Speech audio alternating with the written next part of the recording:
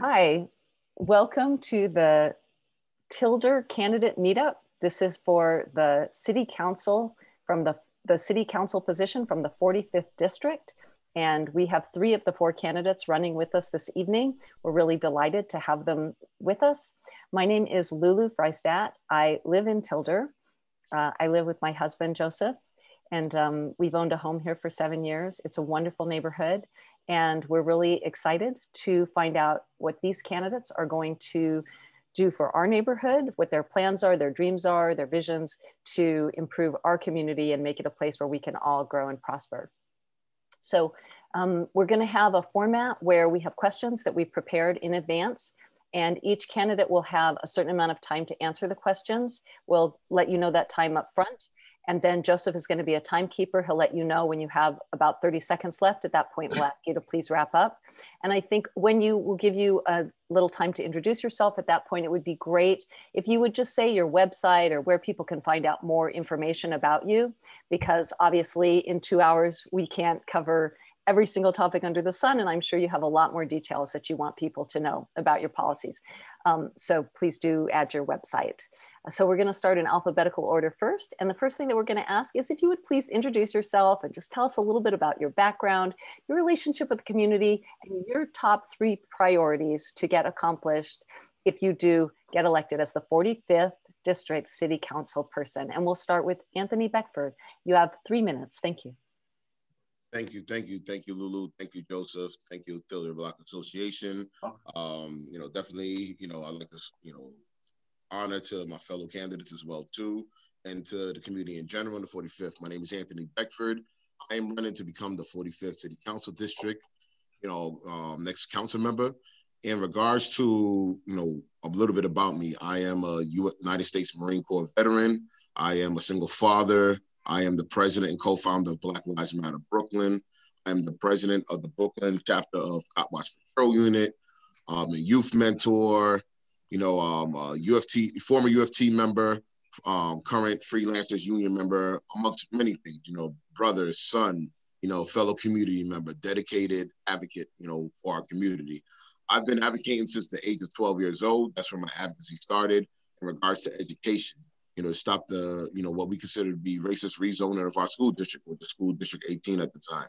Uh, when I went to um, IS 232, which is Winthrop Junior High School from there, as I got older, I've expanded with my advocacy as well too. You know, um, went beyond education and included in housing, um, included um, many social justice issues like police accountability. Um, you know, um, you know everything that's going on with NYCHA, you know, healthcare, climate, you know, and, and many other many other issues that we face within the district because it is definitely a revolving door of issues. You know, and many times we have to be on many fronts to combat these issues. So um, I feel that I'll be the you know best next council member for the district due to my years of service. You know, one as an elected um, Democratic County Committee member, um, not not with the Brooklyn um, Dems um, machine, but outside of that, you know. But then also in my long-lasting service to the community, that even when I went to the Marine Corps and came back, I still continued with that service and have taken many youth underneath my wing to help, you know, guide them in what to do when it comes to service. You know, I've been combating against gun violence in our communities to provide, you know, services, resources, and even opportunities to the youth, you know, to get them away from gun and gang violence. You know, um, I've been very consistent in regards to that. I've been in the 20s, I've been in the 50s, and we know how hot those areas are and engage with the youth, you know, and basically was able to be successful in many ceasefires and even get some of them out of the current gangs at the moment you know, but um, yeah, you know, so basically that's that's a little bit about me, and I uh, definitely look forward to the rest of this forum. And can you tell us what are your top three priorities? That was kind of a lot of information you threw oh, okay. So, if you are elected, what are the top three goals that you have for our community?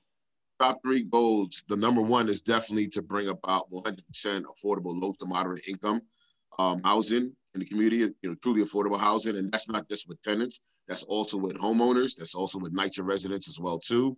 Um, the next is education. We may be gaining a lot of funding, but we're not receiving the resources, services, and wraparound services that are needed as well in and outside of school.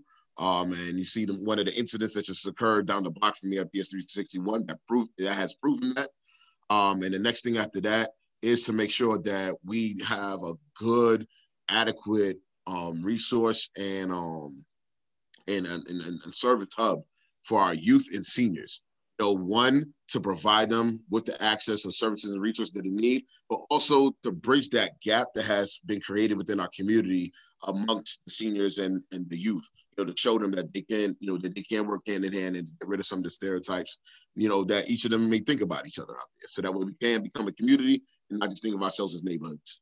Thank you so much. And where do people find out more information about you? Um, you can find more information about me on my website, anthonybeckford.com, on Twitter, vote the number four, Anthony Beckford, I mean, vote for Beckford. Um, and on Facebook and Instagram, it's the same, Anthony Beckford, the number four, City Council. Can you put those into the chat for us, please? Yes, we'll do. Okay, I appreciate that. Okay, next we're going to have Lou Cespedes. Lou, please introduce yourself and tell us your three top priorities and where we can find out more information about you. Thank you. Hi, Lulu, and thank you for Tilder for putting this to uh, this forum together. It's a pleasure to be here with all of you again today. For those of you that know me, um, you know it's it's really a treat to be able to um, to uh, address you today. For those of you that don't know me, my name is Lou Cespedes. I am a father of a beautiful three year old. I am a homeowner in this community. I am an engineer by training. Uh, I am also a homeowner advocate. I am a Christian and I am a writer for the Caribbean Times, where I write uh, about issues uh, confronting the 45th district and communities and communities beyond. Um, my top three pri- priorities are uh, very simple. I believe that uh, you know we start with the little things, and if you are faithful in the little things, you can get to the big things. So something that's very important to this uh, this organization to Tilder are your flower beds, and I think that you guys work very hard on them. And so I want to start with this simple analogy. You work so hard to make sure that your flower beds are beautiful, but every day you wake up to find them uh, littered with garbage and that is a perfect analogy for the type of leadership that we have in this community. It's not that there is not a will on behalf of community members. It is simply that your will is not reciprocated and honored by the leadership in this community. And so my top two, three priorities are one, to clean the garbage off our street and find a permanent solution for that problem. My second priority is to provide after school vocational training targeted to 12 to 18 year olds in public private partnerships. And my third priority is to stop the rezoning of our community. One of the things that you should know about me is that I am an engineer. I solve problems. That is what I love to do. And that is the only reason why I feel that I am the adequate person to lead the, the, the person with the adequate skill set to lead this community. Um, I am very happy uh, to be a mentor at a great organization called Children of Promise. I am a board member. Uh, I have been a mentor there for three years and we deal with all sorts of issues with child uh, with children uh, that are in homes of incarcerated parents, and I bring to, and I plan to bring that model to our community, working in close collaboration with the clergy and with uh, our public schools. It is just a, a shame that uh, Romie Vilsaint lost his life to bullying steps away from Farah Louis's office after uh, the authorities knew that he was complaining about being bullied. Uh, we have uh, failure after failure in our community. And I am glad uh, today to have the opportunity to share my vision for the solutions that I bring to this community and very happy not to be burdened with spending airtime um, someone defending you know their abject failure. Uh, I want to give you uh, the assurance that everything you will hear from me today will be spot on about solutions and not about budgets and not about you know funding. You will hear that from uh, my fellow uh, my fellow candidates, but you will not hear that from me. I will approach every problem the way I approach uh, the problems that I do at work, the way I've been trained. For every every problem is a solution waiting to be found. I believe that, and that's the kind of skill and that's the kind of, of tenacity that I plan to bring to this district when I am elected your next council member. For those of you that want to see more information about me, you can please follow me on Twitter at Lufer Flatbush. You can also visit my website at louforflatbush.com. Uh, there you will find more information. If you have any specific questions about any issue, you can reach out to me via email at info at loufor45.com. Uh, and I am uh, looking forward to having a, uh, a very robust debate this evening with you. That's lovely. Thank you so much. And if you could put your, your information in the chat for your websites and your Twitter and things like that. Um, so next we'll have Cyril Joseph. And I'm going to unmute you. Uh, I had muted you just because it was a little bit loud there. Can you unmute yourself, Cyril?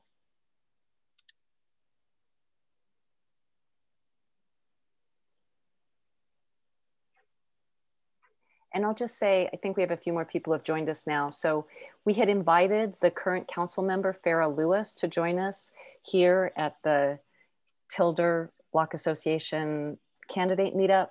Uh, we did schedule this specifically to try to work around her schedule. We scheduled it on a Sunday evening when she doesn't have city council meetings. Um, she did decline to participate.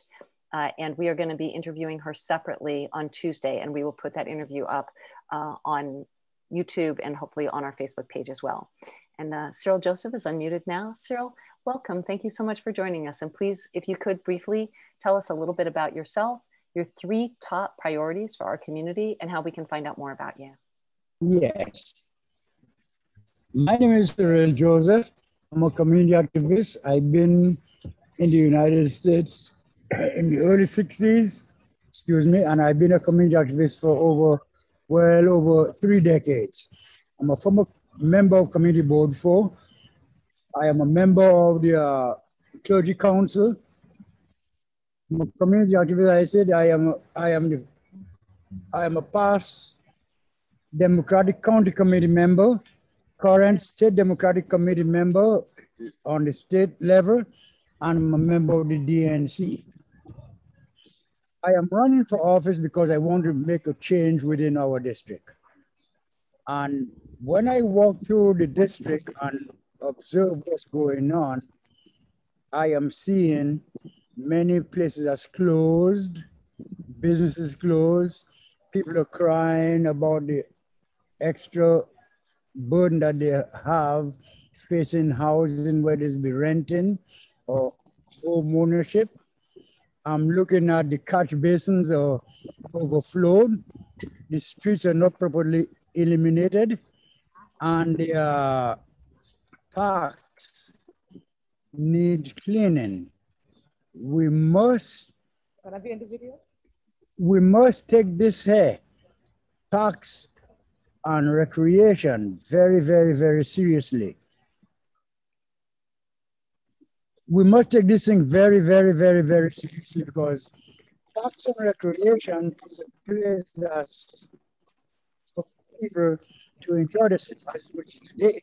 And in my park, for the public, it must be kept clean, it must be tidy and everything.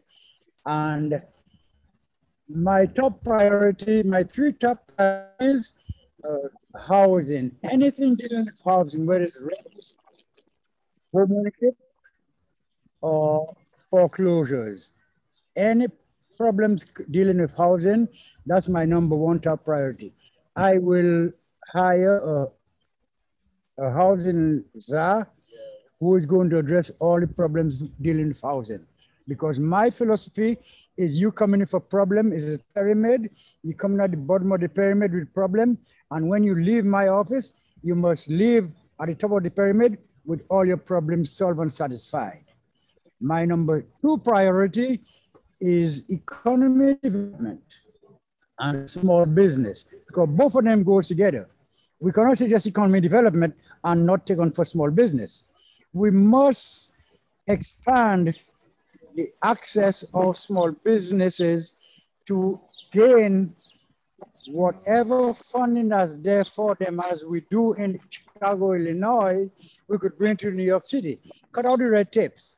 There's too much red tape for a small business owner or small business operator to get access for fund, to funding.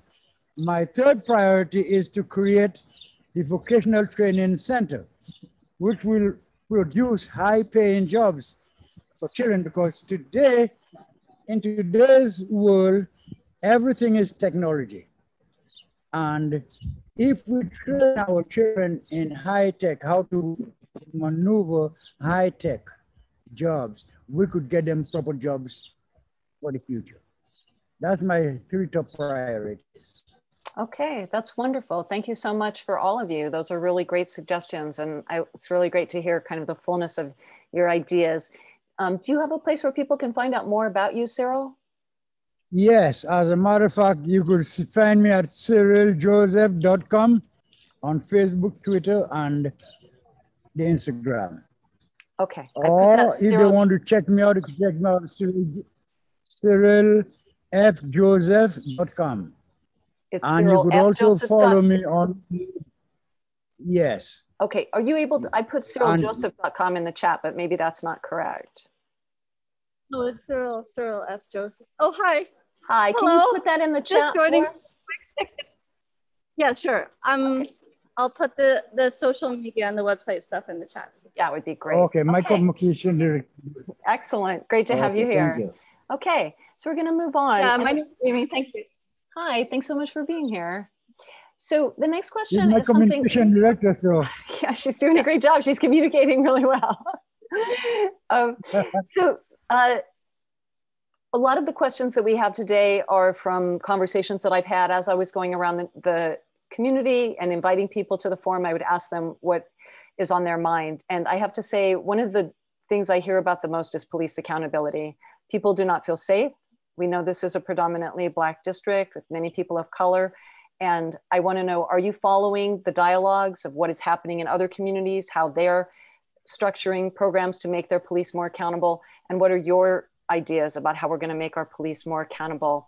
Uh, two minutes each, please, to answer this question. And this time we'll start with Lou uh, Cespedes. Thank you. Sorry. Hi, Lulu. Thanks. Thank you for the question. Much has been said about police accountability uh, since the murder of George, George Floyd. Very little has been done. Uh, last summer, we saw our neighborhood uh, bedeviled by protests. Uh, those protests have largely uh, gone, uh, have been have been largely ineffective in bringing about reform. Um, there's a lot of conversation about defunding the police which is a very unpopular idea in this community, uh, but one that you know my fellow candidates, uh, you know, some of my fellow, fellow candidates have advocated, and that the uh, and that the council member has been uh, largely a conversation that the co- council member has been largely absent from. She voted for the budget last year, uh, which was panned and rejected by many on the left and on the right um, for a variety of reasons. Um, Governor Cuomo, although he's not that popular these days, last fall um, offered for communities to create their own plan uh, of action within their uh, within their police precincts. And many of my contemporaries have either not developed a plan or not spoken about this issue at all. And so um, I think that to be an antagonist of the police uh, is not helpful and it is not putting you in a position of leverage to really have the kinds of conversations with leadership within our precincts that we need to have. So I would use the structures that uh, have been given to us. And my position is that we should look at uh, we should look at uh, unfunding the police in one billion dollar increments over the next four years, three billion over four years. That's great. Thank you so much. Mr. Joseph? Yes, ma'am. As for police defunding, is that what you asked about defunding police? Well, or? really, it's your vision, right? This is a very complicated issue, and we need the police to keep us safe. But if the police are not making people safe, if the police are actually a danger to some communities, how are we going to, how are you going to approach that personally? What is your idea, and how are you going to work with the city council to make our community more safe in regard to the police? Okay, my vision for making the police and the community come become better acquainted and working safer is community policing. Bring back community policing. Period. And can you just tell us what that would, like, what would be community policing? Right, Tell us about that. Right, right, right. I will tell you because when I, I I'm a I'm an ex-police officer, and during my days when I was policing, we used to know everyone on the street. We use three words: CPR, courtesy, professionalism, and respect. We treat everyone with courtesy. We respect them and we go in a professional way.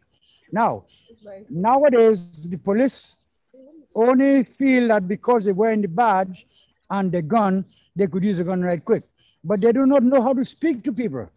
We need to retrain them of the true meaning of CPR. And if they do not follow the procedure of CPR, then you terminate them, fire them, get rid of them. They're no good. I am not saying that all police are no good. There are many good policemen. But is two or three in a bar in the bunch, like you have two or three bad apples in a whole bushel of apples, that corrupt the system. So we get rid of those bad ones and train people. And what are you going to do about the unions, which protect the police and make it very hard to fire them? For the unions that make it so hard to fire them, we going to legislate, craft legislation to stop that nonsense because these are these are human lives. These are human lives. We are there to protect human lives, and people are there to respect police officers. Because police officers do a very damn good job protecting us. I have done it for over 15 years. And when I leave my house in the morning time, I'm not quite sure if I'm coming back in the night. When I come back the night, I knock the wood and I say, thank you, Jesus, I'm here. And it's getting worse nowadays. So we got to craft legislation to stop all that nonsense. Okay, thank you so much. That's very helpful. Anthony, what are your ideas about this issue? Um, my, my ideas are very progressive and have been tested and proven um, over time. You know, one, like I said, again, as the president and co-founder of Black Lives Matter Brooklyn, but then also as the president of the Brooklyn chapter Kaba. we sorry. need. Can you say that more slowly? As the president of what? Oh, oh, the president. Sorry, the president and co-founder of Black Lives Matter Brooklyn, and also as the president of the Brooklyn chapter of Cop Watch Patrol Unit. You know, we've seen the interactions. So that that is basically our duty to record the interactions. You know, we always ask who polices the police. Um, us as a grassroots organization, you know, we basically go out there and re-record these incidences. We empower the community. We give the, you know, we do know your rights trainings to the um, community members. And also we do engage with many officers who do want to see things change within their own precincts. You know, I even have an audio from an officer who literally said that he's more scared of officers in his precinct than he is of the gangs in the streets you know, and this is from two years ago, you know. So one thing that we want to do is provide, you know, the police officers who do want to get rid of these bad apples a way to protect them, like whistleblower protection.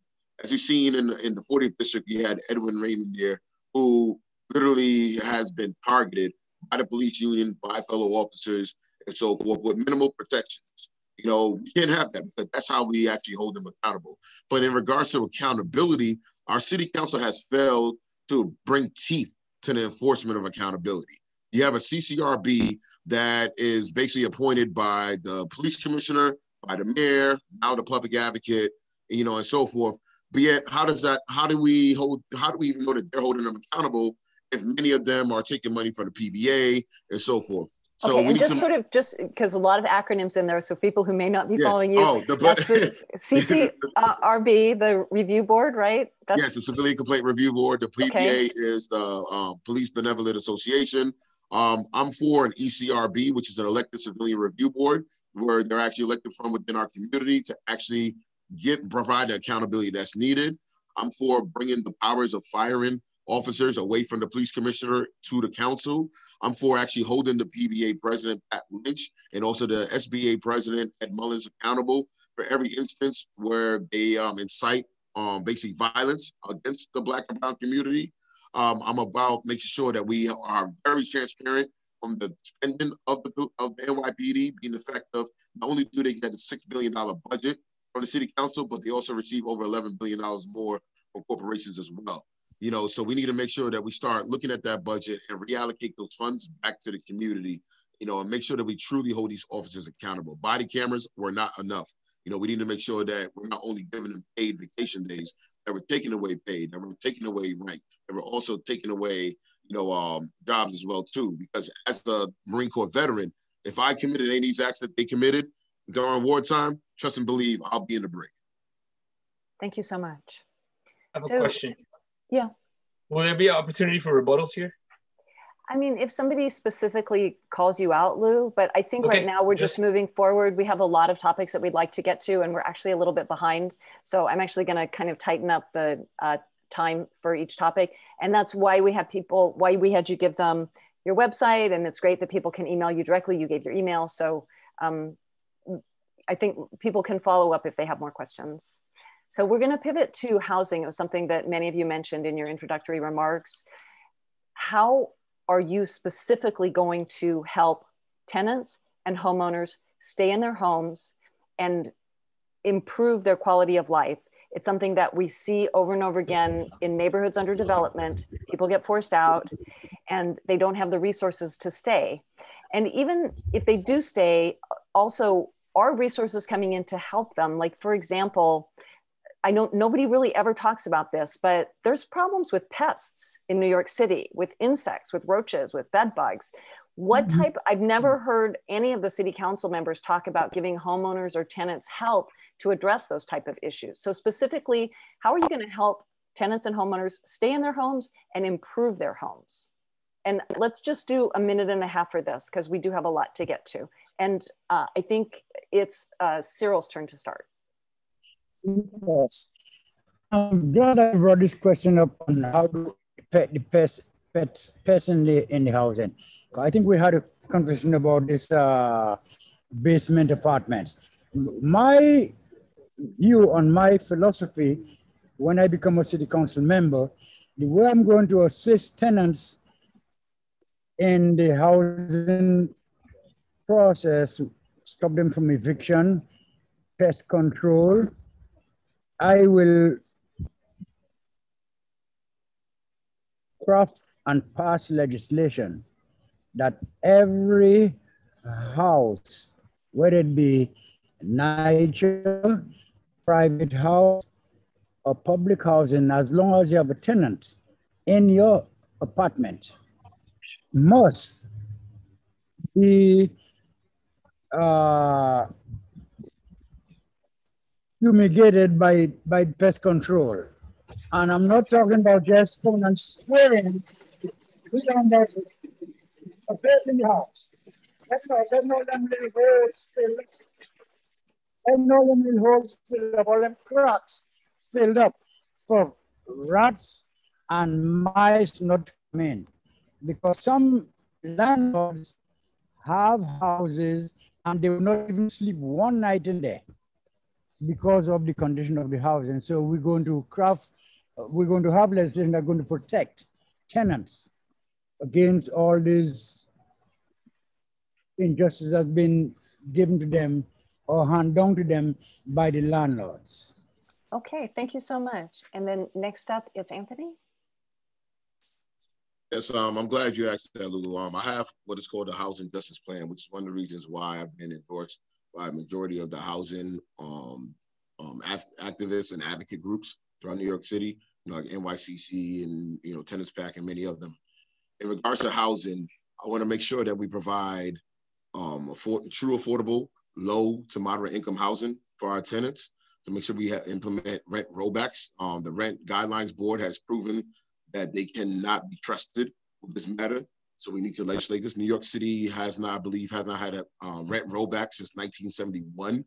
Um, for the property owners, I do want to, for the small homeowners, I want to bring back uh, property tax rollbacks as well too. So that way they're no longer taking on the increase in taxes from the, you know, from the rent, um, tax abatements that these developers receive, you know, building up these towers within our community, displacing many community members in regards to that, the tax, the property tax rollback will be rolled back to your purchase value of your home. And this is coming from years of talking with other um, homeowners, well, talking with homeowners in regards to what their needs are in regards to that. Next thing is to make sure that we have fully funded um, NYCHA developments and make sure that we do, we do not continue with this privatization of NYCHA because it is not positive for the people in NYCHA at all. You know, next thing is to make sure that when we hire to maintain NYCHA, that we hire within NYCHA itself, which will then boost the economy as well too, but then also provide you know, people with income to afford housing. You know, and we must make sure that when we're looking at developers, we're not looking at for-profit developers. We have to look at nonprofit developers. We have to turn shelters into permanent housing. We have to turn these um, hotels that many of our community members have been sent to because they're homeless. We have to turn those into permanent housing as well too. They're paid out 35. Uh, um, owners of these are paid out 3,500 a day. You know that right there. You know you could basically get numerous apartments for numerous people. We need to increase the FEPS vouchers you know, to make sure that we're actually providing, you know, vouchers that can actually pay for a down payment of an apartment, you know, and, and the first month's rent as well, instead of, you know, giving uh, um, single mothers and single parents and families $750 to $1,200 when the rent is ever increasing. You know, we also need a 10-year rent freeze as well, too, you know, because we cannot continue saying that we need affordable housing, be able to continue raising the rent and pushing our community members out in the streets you know, homelessness has increased at a dramatic rate, you know, especially during COVID. You know, we've had a lot of illegal evictions. You know, right now there's a there's a moratorium on evictions, but in the moratorium, I feel it needs to be explained to homeowners who are also landlords. You know that there is relief for them as well too, and we need to make sure that we provide even more relief. You know, for our homeowners, so that way they can, they can have relief, our tenants have relief, and we can keep the uh, integrity of our communities together instead of it turning into a little Manhattan. That's great. Thank you so much. And if you can, just try to stay within the time frame that I'm giving you, and Joseph will give you that um, little note. Hopefully, we just I want to make sure that we get to you know a number of topics, but that was very comprehensive. Appreciate that. My apologies and my apologies, Joseph. no problem. Um, uh, Lou, you're up to bat. So I just want to, you know, uh, make sure that everyone understands and listens very carefully to the words and the quality of the answers that you're receiving. I am the only person here that knows how to procure affordable housing. I've been doing that professionally for the last 10 years. I already have a bill that was passed within the city council, uh, a project that I worked on called the accessory dwelling unit. It's a pilot program in East New York. That program is now uh, being passed at the state level, and that will give homeowners the uh, clarity, the, the regulatory clarity to rent their basements and cellars, and that will be more income for homeowners. We need to provide more tax abatements to homeowners uh, that provide their basements and cellars as affordable housing. And that will be a lifeline to most, most homeowners to pay their taxes and to maintain their homes. One of the biggest things that we can do to make sure that we keep rents affordable is to stop the rezoning of our community. The 421A is an abatement that is funded by homeowners. And so every time you see a new uh, multifamily unit come online, you are paying for that. You are subsidizing as a homeowner. You are subsidizing that construction, and you, they are not providing affordable housing. So um, I think that it's very odd that my colleagues you would, would talk about you know providing affordable housing when actually they have no idea how that's even done. And so you want to rent rollback. We've had a moratorium for uh, well over a year now, um, and there has been absolutely no relief for homeowners. So as a homeowner advocate, that is my plan. Address the homeowner and you will address the tenants and you will address the question of affordable housing because homeowners are the biggest providers of affordable housing in our community. That's great. Thank you so much. And I think we saw a wide variety of solutions there. So I think that's great. Each of you had a different approach. I'm going to um, pivot now to something that's connected to that, and that has to do with contributions. I did look up in each of your contributions that are listed with the New York City Campaign Finance Board who's accepting contributions from real estate brokers and construction companies and sort of that um, segment of the, of the population. And I did find that Anthony actually, you were of this group in the lead in that in terms of contributions from real estate brokers. Uh, you had about a $1,000 from your contributions from real estate brokers. Farah was actually ahead of you with $2,100, but she raised a good deal more money. So your percentage actually of contributions from that um, from that group was was higher. Lou, it looked like you had raised about $290 from real estate brokers or um, people in that Interesting. category. So I just, I think, I understand everybody's kind of scraping for money and you're all trying to just get your campaigns going. Um, but it's a question I think the community has a right to ask. Does accepting money from the real estate industry compromise you in regard to the issue of development, since it's such an important issue right now for our neighborhoods? Um, is that something that the community should be asking of each of the, of the candidates to not accept contributions from real estate developers and brokers, or I, I just like to give each of you a minute to talk about that. Um, Mr. Joseph, I think you're up to bat next.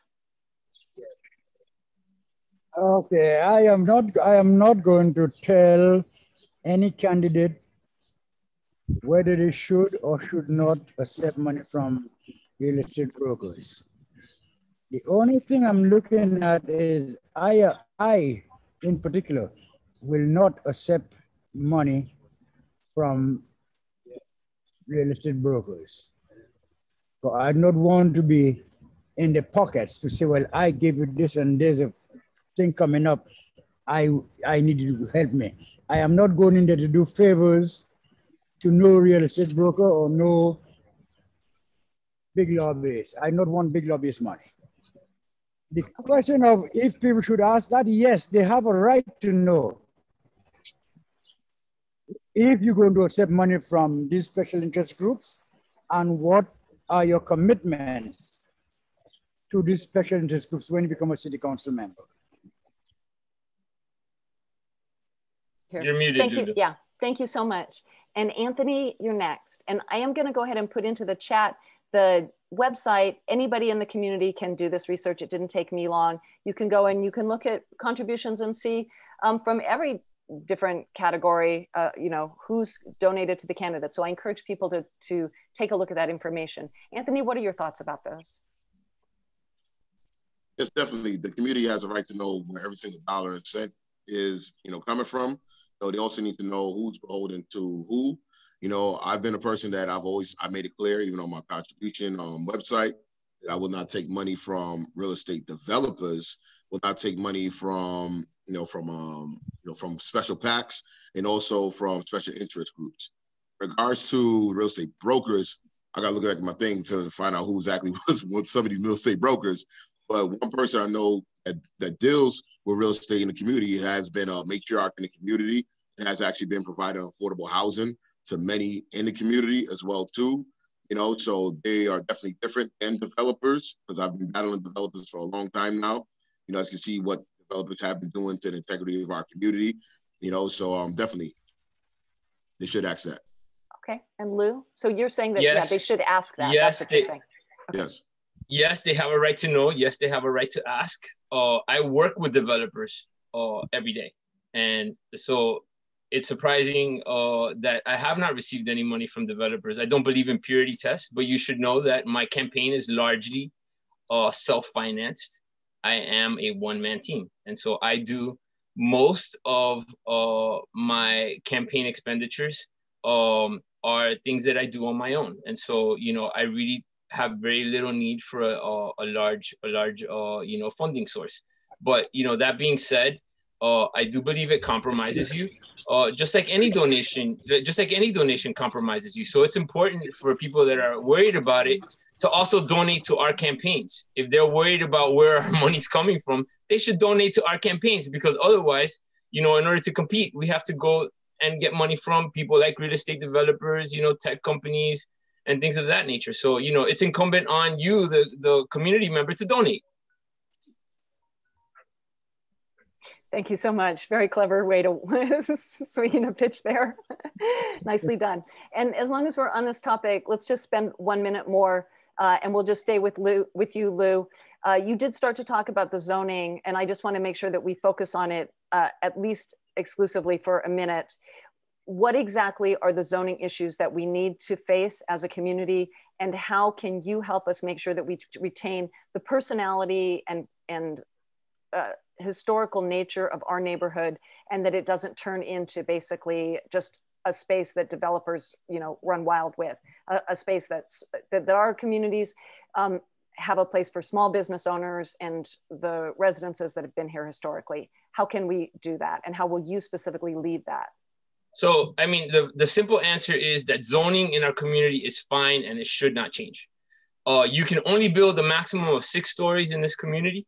That is what uh, that is within the character of the community. Most of the housing and uh, and buildings that we have in our community are only two stories, and so it's only natural uh, that you know development will come.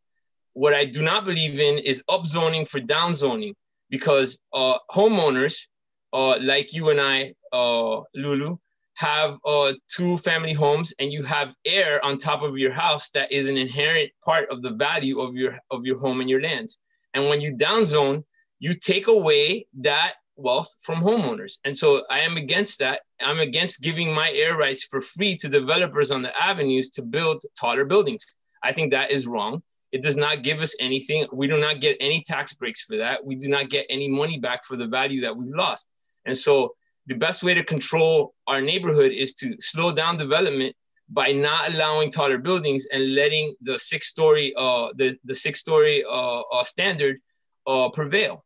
And I'm, what is that phrase upzoning for downzoning? Can you explain yes, that? in other words, upzoning for downzoning means that you're gonna allow larger buildings, taller buildings, you know, on the boulevards on Utica, Nostrand, Church, uh, you know, Rogers, uh, Bedford, in exchange for, you know, having downzoned, taking away property air rights, uh, development rights from homeowners on the side streets, like where you and I live.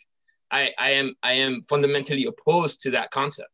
And what about the 80-20, what they call the Mitchell-Lama, where the buildings are allowed to build a little higher, but they have to provide a public space like a park or a plaza. Well, you know, like anything that. that. has to do. So, for, for, example, we are not in an MIH community, and so uh, in an MIH district, and, and so just break these acronyms. Ma- mandatory. We are not in a mandatory inclusionary housing area district. So, uh, you know, any upzoning that's provided is provided through mandatory inclusionary housing as a spot rezoning. And so, you know, again, I'm against that we should build to the we should build to the uh, to the as of right standard that prevails in our community for for an R6 and we have to understand that our community is very attractive because we're essentially the last transit hub you know in Brooklyn. We're the last line. And so you know there is no there is nothing east of you know of us of the 2 and 5 and until there is you know this area is going to be in very high demand because it's what's called a TOD a transit oriented orient transit oriented area development. And so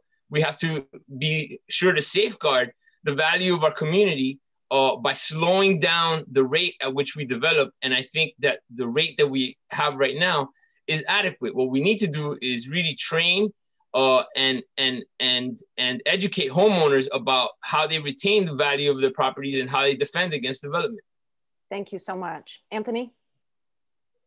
Lou and I usually bump heads on certain things, but Lou knows that I'm with him on this on this 100. percent You know, um, we've seen how many in our community, even um, current council has been, you know, as the term term was up zone to down zone. You know, that the attempt has been out there. You know, and there's been many fighting against that. Many organizations, many advocates, many community members.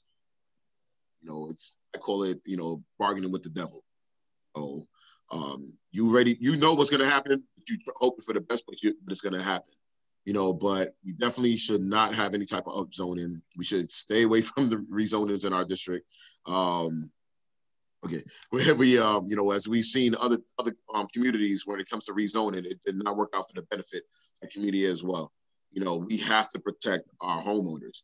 You know, we have to protect the tenants you know, who are who are um, tenants to the homeowners, you know, but then also we need to expand on the landmarking of our communities. Like we have the 300 block of East 25th. You know, with doing so, that literally protects us. We also need to make sure that this right now in the Senate, there's a cease and desist um, piece of legislation Okay. Thank you so much. Joseph's getting his wings now as a timekeeper. Um, and we'll look for that 30 second uh, card also. Cyril, can you please tell us your thoughts about the zoning issue? Um, you need to unmute. You're muted now.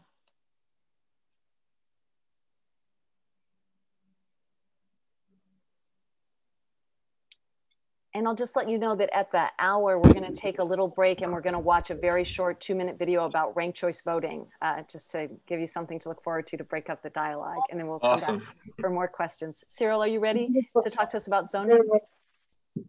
I'm 100% in agreement with Lou on uh, uh, where, where, where the zoning process is concerned. There is no such thing as MIR. And what we got to do is respect the wishes and the uh, demands of the ULURP process. And what is that MIR, please? The minimum income range. And what is and how is that related to this issue? the minimum income range related to the issue with housing because if you're telling me you're going to build housing, you're going to upgrade the, uh, up, upload the, uh, change the, house, the, the, the housing zone to build on air, right? So you're going to build a 15 or 16 story unit. And you are telling me affordable. There's no such thing as affordable.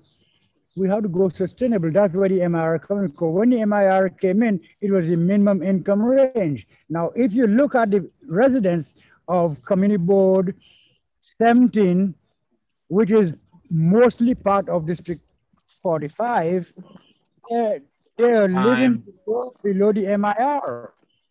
So we have to take that into consideration. Planning board then said that they do not want to rezone. So we should respect that. As Lou Time. said, respect it. Okay, thank you so thank much. You. That was really helpful to hear uh, your, you know, to hear all of your input on that. So the next question that we're going to mm-hmm. talk about um, is mental health. And it's something that I think is really important to people in this district. When I talk to people over and over again. They were very concerned about this. I talked to a woman in a hair salon, and a woman had just randomly come into her salon and was just kind of almost you know threatening to assault her and she was very scared and i talked to people who ride the subways and it's the same thing they're encountering people with mental health issues and uh, substance abuse issues on a daily basis and they're uncomfortable and they're worried about their safety. I will say the one bright spot in terms of mental health was the New York State COVID 19 emotional support line. Uh, I know that I used it when I got COVID and on multiple occasions and found it to be really, really helpful. There were people there who helped me deal with my stress and my health issues. So, what kind of programs are you anticipating to try to help people deal with this and, and move forward on this issue in our district? And we'll give a minute and a half each on this, please. Thank you. And we'll start with, uh, I think it's Cyril's turn to start. Yeah, mental health issues. I am, I am, I have said over and over that we need to put more resources into funding for mental health training and education. And I plan to expand on that or fully fund mental health training and hire qualified people to deal with mental health issues. Because right now we're looking mental health is on, on the rise, especially after suffering with the COVID, COVID issue. So I am planning or if elected to put more discretionary funding into mental health programs Okay, so funding. Um, yeah. That'd be great. And then uh, I'm just trying to keep our order here. Uh, Anthony, please. Yeah, um, mental health is a very serious topic in our community. Um, you know, especially well, we had we had most of the issues that we're talking about tonight before COVID, and COVID definitely um, put more pressure to the stone.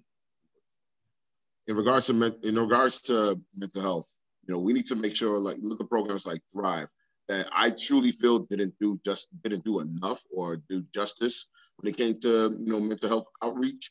We need to increase mental health outreach. We need to make sure that we have mental, more mental health professionals out there on mental health calls. We need to make sure that we have mental, you know, the capacity to have mental health clinics within our community as well. Also have social workers and counselors inside of our schools that deal with mental health because, you know, when people look at mental health, they're only thinking about adults many of the times, they're not looking at the youth that really need us to have really struggling with the mental health issues that they do have. You know, walking about the community as I do every day, you know, I see it, I hear it. You know, a lot of times, you know, through my, you know, through my practice and stuff like that, you know, of being able to take on, you know, different types of mental health training, I've been able to help defuse and de, you know, and de-escalate many situations. But we need more of that, and we need to also make sure that our community-based organizations are able to provide that as well. Great. Lou, your thoughts? So, uh, mental illness is a manifold problem in our community. And I think what everyone needs to understand is that mental illness is an industry in our community. And so, you know, it is, it is goes hand in glove with the, with the homelessness problem. And you can see it, you know, on all our major thoroughfares. Um, we do not solve the issue of mental illness with more funding. Thrive has plenty of funding and all that funding was wasted and we don't know how that money was how, how to how that money uh, has been accounted for and so you know i think that this is a th- this is an issue that goes much deeper. It, it has nothing to do with funding. It has to do with, again, absent leadership. All we have to do is really provide uh, the adequate structure for uh, people that are suffering from mental health to get the kind of uh, uh, attention that they need. I work with an organization called Children of Promise. And one of the things that we do uh, is provide free mental health clinicians to children in after school. And so we would bring a similar model here that would provide free clinicians and provide supportive housing and to provide medication to people that are suffering from mental illness so that they can work and lead productive lives. Thank you so much. It's great to hear the ideas on that. And uh, this is something else that I hear from people over and over again. The issues of sanitation, litter, the really, really um, unsightly piles of litter on our corners, on the streets. Um, as well as things like parked cars that just stay there for days, uh, sanitation that doesn't come and pick up. We had no electronic recycling for like almost the entire pandemic. Um, and this is something I, am going to sort of tie this into another issue, which is cooperation with other elected officials and with the community we can't solve an issue like sanitation just in the district because some of the main thoroughfares go across multiple districts, especially like Church and Nostrand is between the 45th and the 40th district. So what is your plan for improving the sanitation and the litter in the community? And how are you going to work cooperatively with the community and with other council members? And we'll do two minutes each on this, please. Thank you. And we'll start with Anthony. Thank you for that question, Lulu. So yeah, so we have definitely seen the increase of uh, trash, but the decrease of trash pickups. Uh, what many don't, many in our communities don't understand is that in the last city budget, you know, not only did our council member, but other council members voted to actually cut the budget of sanitation. You know, um, and then even there's talks in the in City Hall now to further cut the budget to sanitation, which means the loss of jobs, loss of hours, loss of pickups, loss of street cleaning. You know, it's it's become a problem. You know, as Lou mentioned earlier with the trash and the tree beds, you know, that's where my my campaign office is going down the stretch of Flatbush. You know, there's a consistent pile of trash. There's illegal dumping. You know, even along the Farragut corridor where we've cleaned up numerous occasions, but it keeps it keeps occurring. You know, we need to bring about accountability, more accountability when it comes to about with illegal dumping. We need to fully fund our sanitation services. We need to make sure we hire more and actually, you know, empower many community members to actually participate in sanitation pickups as well too. You know, there's many organizations that said that if they had the funding, that they would actually expand what the community-based organization does to help pick up trash within the communities. You know, I'm gonna just I'm gonna push back on you a little bit on this because I'm a member okay. of the Tilder Block Association, as is yeah. my husband, and we do. You know, the Tilder Block Association is known for going and doing litter pickup. We go. Oh no, definitely. Our block, Church Avenue, but honestly it's not the community's responsibility it's sanitation's job to pick yeah. up litter and how are in the same way that we're talking about police accountability What mm. is your plan to hold sanitation accountable because literally when they did a walkthrough with us when, yeah. and we said there aren't enough trash cans they said oh we don't put the trash cans out because the trash cans attract litter so we're not putting more trash cans out so this is kind of the you know this yeah. is the sort of uh, orwellian thinking that we're getting, kind of backwards thinking that we're getting from sanitation. How are you going to hold them accountable? What are your plans? No, yeah, so definitely, yeah, I do agree with that because I've had the same issue with um, homeowners off of Kings Highway, where they were told to either adopt a can or they're told that they can't be provided with a can because it, you know, it, it attracts more trash. We do, we do need more trash cans. Um, we fought hard to get trash cans on Kings Highway for the community members in that area. We need to do that in regards to you know more parts of our communities. We need to increase sanitation pickups. We need to make sure that they do their job and not just pick up in certain areas and don't pick up in other areas. We see the disparities. You know, we need to make sure that we truly hold them accountable. We need to hire more sanitation workers. We need to make sure that those who supervise these workers, you know, I actually make sure that the workers do their job. You know, we need to make sure that when it comes to the trash cans, if the trash cans, you know, bring in quote unquote more trash, we need to make sure that they increase the pickups of that trash. You know, we've seen where they pick up the trash and then they throw the rest of the trash, and then that also increases the litter on the block as well too. And how are you going to work with other council members to solve this And- problem? In regard in regards to that, you know, is making sure that we are able to fund some of these programs now to hire more people. You know, we need we need to hire more people, not only in sanitation, but many of these bo- these um, organizations that are contracted by the city to do block cleanups, especially like some that are on here on Flatbush. We see some on um, on Church Avenue as well too with Wildcats and so forth to make sure that we're actually providing these jobs and providing you know an avenue for that we can have more cleanups in our community. Okay, but you're not actually answering my question.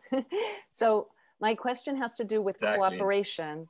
And I'm going to actually put you on the spot a little bit here. Okay. So Farah Louis has said one of the reasons that she didn't participate in the forum is because she feels she's being harassed by your Mhm. team. And she actually said that your team was pulling down her posters. So I don't, I'd like you to give you a chance to respond to that and tie this into the idea of cooperation. If you're having trouble working, you know, running a campaign where you have to navigate other council members, how are you going to be able to work collaboratively with other council members if you get elected as a city council member yourself? well, the pushback against her false narrative that it's our campaign that's had numerous posters torn down. Even yesterday, we've had a couple of had a business where our four by six banner was cut down from a business. You know, we've had you know banners pulled down from dollar vans. You know, we've been we've had her her mother come to our door and bang on our door and berate me in front of my nine year old daughter. You know, this is just a you know, I would say a desperate attempt by our council member to not participate in many of these forums. It's not the first forum that our council member has not been in. You know, when she refused to take part in the Haitian Times um, um, debate, you know, she accused them of lying on her. She accused them of putting out false stories. How many people have? How many people are guilty of this? And the council member is not being held accountable. You know, for her actions. You know, why does she have to keep on? You know, continue with the spin? In regards to working with other council members, you know, I've been working with other council members like um, Antonio Reynoso. Um, I've worked with, you know, council members throughout Queens and the Bronx on many initiatives that they needed as well too. I've always built what's what is called a cooperative group, not just with elected officials, but also nonprofit and grassroots organizations. And that's one of the things that we look at to make sure that we do have a true sense of community for one accountability, but also empowerment. Because not only do the community members, you know, see what we're doing, but the youth actually repeat the things that they see out there. You know, so when we're out here, we're representing not just ourselves, we're representing the public in general. And with me being a father, a single father of a nine-year-old daughter who's always with me, I show her the best examples out there and make sure she's around the people out there that actually show the best examples as well too, so that way she could grow up with that same mindset as well. Okay, well, thank you so much for addressing that. I really appreciate you just laying that out. Mm-hmm. That way people have both sides of the narrative, and I think that's only fair. Lou, would you address the issue of actually working collaboratively and what your plans are specifically to clean up the litter and hold the sanitation department accountable? Uh, thank you, Lulu. You know, I opened a segment here talking about this issue, and I it's something that I, I, I is a constant critique. Uh, many of my colleagues in the political sphere have done na- plenty of neighborhood cleanups, and as I said before, you know, they never seem to find a solution to the problem. It's a problem that keeps recurring, and so you know, uh, one thing that we can do is get the discretionary funding four fifths of which our council member is exporting outside of our community to address the trash issue. I wholeheartedly disagree with this idea that we should hire more people at sanitation when we don't have the budget to do that. You know, and so where I see opportunity, where I see a problem, I see opportunity. And so I hope we get a chance to talk about this a little later, right? There is a bid in, at the junction that whose responsibility is to make sure that they clean up, you know, our neighborhood that bit is fading. And I want to talk about HOAs, homeowner associations, and I want to talk about how we turn uh, sanitation in our community into an entrepreneurial enterprise. And I think you will get buy-in from other from neighboring districts because you will, you know, you will solve the problem by creating new businesses and by uh, and by and by offering jobs. And those jobs are, you know, dignified jobs that will give, you know, our businesses uh, clean sidewalks will allow us to, you know, to to enjoy our community and will allow us to want to invest in our community. Right now, you don't have that, and so you know, uh, what we need is different thinking. This is not about funding, And you can't fund your way, you can't ask the city to fund your way out of problems. This is about creativity and ingenuity. And this is about project management. Most of the people that have done neighborhood cleanups can't fix the problem. They can't finish the job. They just don't have the tools to do it. I do. And so, you know, I plan on making this a project. I plan on making it a self sustaining solution that will have lasting impact on our community. It's the small thing, and I can solve the small thing before I get to the bigger thing, which is making sure that we have a dignified place to do business and commerce, create jobs, right? And create opportunity and prosperity in our community. And what about working cooperatively with other council members? Is that something that you feel that you're going to be able to do, Lou? Absolutely. I mean, I think I'm uh, very capable and very persuasive. I can work with other council members. You know, I have no, I, I have never had any challenges. You know, uh, collaborating with others because that's part of you know my that's part of my training. That's part of my my mo. You know, I'm trained to resolve conflict. I'm trained to come to the middle, to find compromise, to you know, to to make sure that uh, that whatever you know uh, that we put our clients first. You know, we want to put our clients and their needs first. The community is our client. Uh, our business owners are our client, and we want to make sure that our client get our clients get what they deserve, so that they can do so that they can go about their business and and, and make sure that our community prospers. And so that will be my per, that will be my first priority. Thank you so much. And Cyril, what are your ideas about how to hold sanitation accountable and will you be able to work collaboratively with other council members to do that? Let me, uh, let me answer this, the uh, last question first. Uh, would I, how would I work with city council members across the aisle? My philosophy or my method is working across the aisle and reaching all city council members. Why? For all city council members are Brooklynites and they live in New York and the problem is not just in my council district. The problem is in all the city council districts. Now, for instance, we have in, I will hold sanitation department responsible because we have in these white sanitation buses pick up garbage, they mark BK, BK 17, they're BK 4, and they pass garbage on the streets. They don't pick it up. So my philosophy or my method is to have sanitation commissioner let or enforce that anytime BK17 or BK4, BK3 passing BK6, they see garbage, pick it up. Is not garbage, is sanitation responsibility to keep our streets clean. So if you're telling me you see about three or four BK 17 buses passing down and they see garbage in BK 3, they won't pick it up. Why are you driving my buses, paying you per hour, and not picking up the garbage? You see garbage, you guys pick up. That is my philosophy and try. All right, Cyril, I'm not Hello? sure I completely understand that plan. When you say the buses are going to pick up the garbage, are you talking about sanitation buses? Or are you talking oh, about, you're talking about, so basically, so your plan is to have sanitation buses throughout the city, just be more comprehensive and pick up garbage wherever they see it. Yes. Okay, yes. so we had three different approaches there. And I think that's helpful for people to really hear. You each had a distinct plan about approaching it. Uh, you were saying you do more comprehensive collection from the buses. Lou has a different strategy in terms of just really approaching things philosophically differently. And Anthony is interested, I think he said, in funding the sanitation department and getting more people out there, especially doing that job and working with the community. So I'm those are just quick summaries, but each of you had an, an interesting approach and I appreciate you sharing those. So we're gonna take a quick break now and look at a video and the, um, it's a video about ranked choice voting. So the type of voting that we're going to be doing in this particular election coming up is different than we have in the past. It's called ranked choice voting, and many people are already familiar with it. But in case people aren't, I want to just play a video for you. And this was made by the New York City Campaign Finance Board. And it talks about how we're going to be voting this time. And it's just about two minutes long. So I think it'll be a nice break for us also, just from the, uh, um, from the dialogue. And then we'll come back and, and answer some more questions uh, and hopefully take some questions from the audience. So here's our, um, here's our video about ranked choice voting. And this, as I said, is from the Campaign Finance Board of New York City. The elections, a way that gives There's a new way for New Yorkers to have their say in city elections. A way that gives voters more choices and can lead to more diverse winners. It's called ranked choice voting. 74% of New York voters chose to use it in primary and special elections for city offices mayor, public advocate, comptroller, borough president, and city council.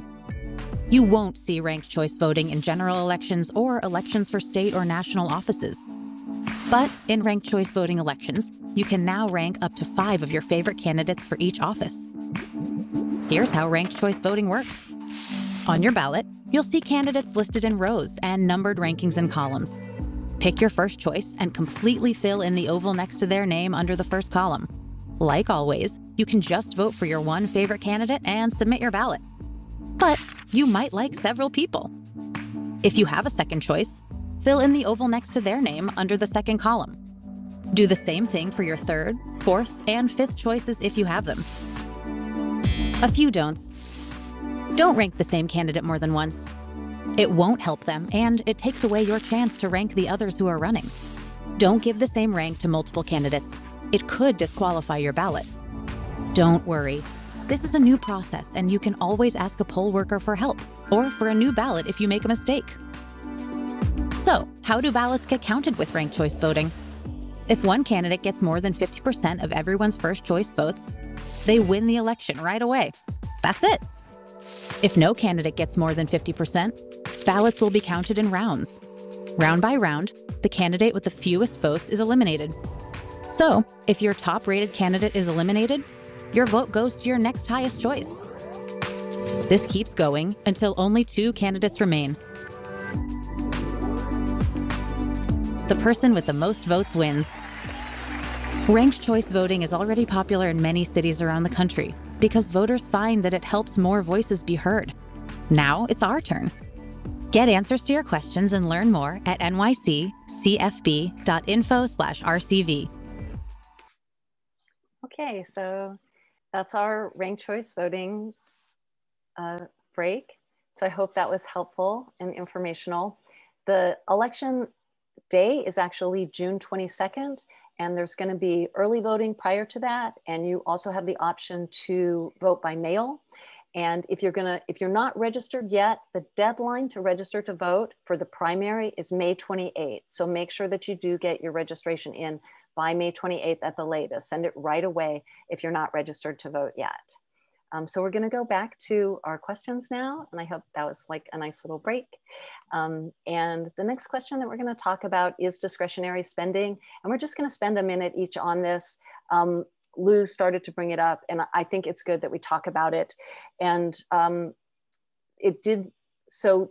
Um, Lou, why don't you go ahead and lead us off in this, and just the we did have articles from the Haitian Times, and people may or may not have read them. The the each city council person gets a discretionary budget. And one of the things that the Haitian Times reported was that a good deal of the discretionary budget from our city council person, who is Farah Louis, is currently going outside the district. It was actually $1.4 million that they reported was going outside the di district, as opposed to, I think, around um, a quarter of a million dollars in the district. So it was a very strong discrepancy. So, Lou, how would you spend the discretionary spending? And um, I am also going to just try to loop into this some other things that people particularly asked me about when I was out and about in the district. People asked especially about the public school curriculum. Why isn't it as good as the private school curriculum? About after school programs, um, especially for financial literacy, um, after school programs for entrepreneurship, civics programs. You know, you see kids and they are so disengaged and they don't even want to vote. Um, uh, computer literacy programs for seniors. Can the discretionary spending help us on some of these really important areas where we're lagging behind? And we'll spend a minute and a half on this. Thank you. That's a little, very little time to do that, so I'll do my best. But okay. the discretionary funding that we currently have, four fifths of that money is being sent outside the district. So I would use that money to as, as a catalyst to help create the kinds of programs that we need in this community, which are providing direct services to our to our residents, right? Uh, I opened the program, uh, the section talking about, you know, my three priorities, vocational training for 12 to 18 year olds after school between the hours of 3 and 7 p.m. that would allow parents time to leave their kids in a safe place learning a skill I would use discretionary funding to, to create public-private partnerships to help fund those programs. And I would work very closely with uh, the nonprofit community that's already doing that work. And so, you know, I would use that money to, to catapult those programs and have the city, uh, and, and once those programs are, are vetted, have the city invest in those programs and, and scale them if they work. And so, you know, the discretionary uh, funding is a great instrument if it's used wisely. I deal with budgets every day. Uh, it's just part of my job.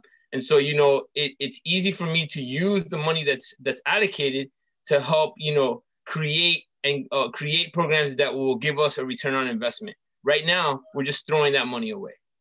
Thank you so much. Very efficient. Well done.